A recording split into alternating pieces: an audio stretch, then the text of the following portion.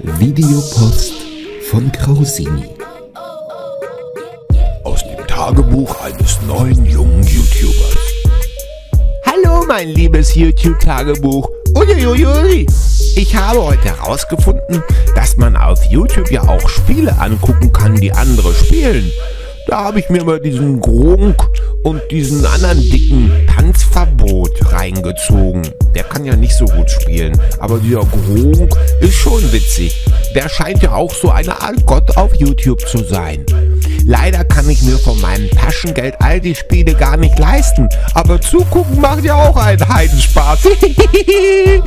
Bis morgen, mein liebes YouTube-Tagebuch. Krausinis Sohn.